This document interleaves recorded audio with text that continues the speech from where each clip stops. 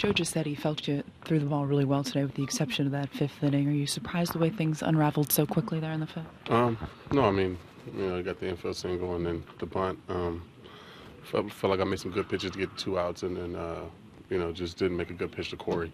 Um, you know, I think a changeup or a two seamer there uh, would be a better pitch to try to get the first pitch swinging, um, get that out, and you know just left a fastball cut back over the middle of the plate, and he put a good swing on it. Frustrating is it to have an ending like that after you pitched pretty well the previous four? It's frustrating. Um, it just is what it is. You know, like I said, I mean, I make good pitches to to get the two outs, and I, I need to just finish the inning.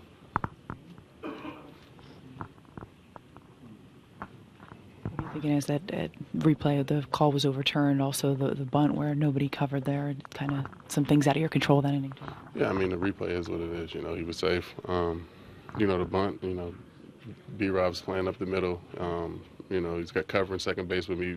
You know, turning double play and trying to get over to first. It's just a lot. You know, so just one of those plays where you know you just got to eat it. Like I said, I mean, I made made good pitches to get to, to two outs. Um, you know, gave up a run, but you know I need to make um, better pitches to finish that inning and, and put us in a position to, to be leading. You know, after that inning. When you go into the fifth, so you see up two nothing, how how confident are you that you're gonna finish, you know, get the win and, and finish your job? Well, I'm always confident. You know, even you know, like I said, with you know getting the, the bases loaded, you know, I'm just thinking make a pitch and, and trying to, you know, damage control. But like I said, I mean, you know, I just got to make a better pitch with Corey right there. CC, was it weird facing Robbie?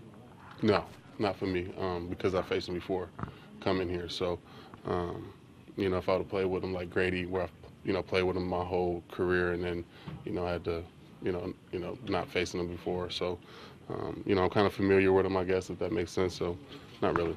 At all surprised by the fans' reaction to him? No.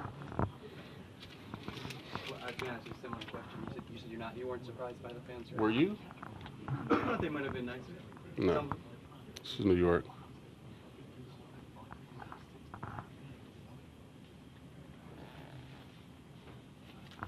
Is that uh, disappointing to see a, a teammate, a former teammate? I mean, it is what it is. You know, um, he left to make a best, better decision for him and his family. Got you know a ten year contract. I mean, you know, it is what it is. You know, people are gonna be mad either way. So, um, you know, for him, I know he's just going out and trying to play.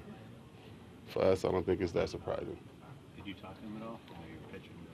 No, I haven't talked to him yet. I guess see, we've seen other fans, you know, in Boston, they did a video.